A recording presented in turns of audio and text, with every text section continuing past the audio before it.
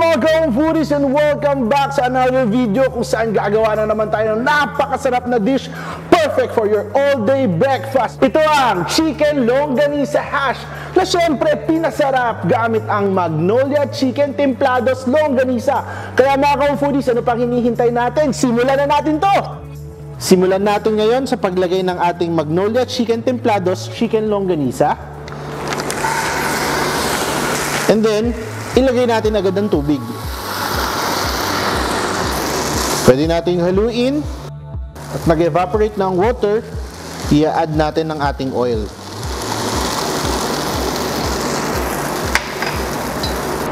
Piprick natin ang ating mga longganisa isa-isa para maglabas ang excess oil and moisture.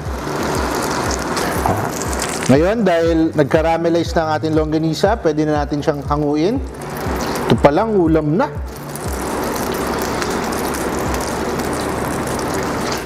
Let's set this aside. In the same pan, sautein na natin ang ating onion. Hindi naman natin kailangan i-sweat ito masyado. So, we can add our garlic.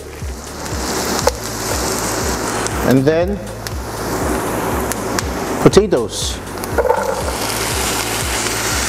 Kapag tender na ang ating potatoes at may konting browning na, pwede na natin i-add ang ating bell peppers. Haluin din natin ito. Then, balik natin ang ating chicken longganisa. Kapag malapit ng maluto, pwede na natin ilagay ang ating basil. Kain na na! At ngayon, pwede na natin ilagay sa ating serving plate. Perfect, quick, and easy breakfast para sa lahat. That was fast mga ka-foodie at ngayon ready na ang ating all-day breakfast na chicken longganisa hash na perfect na perfect any time of the day. Kaya mga ka-foodies, ano pang hinihintay nyo? Subukan nyo na to. Talaga naman, favorite ko to. Kasi nga, gumamit tayo ng Magnolia Chicken Templados Longganisa. Sa uulitin mga ka-foodies, I'm Viboy Miranda. Bye-bye! For more recipes, visit www.homefoodie.com.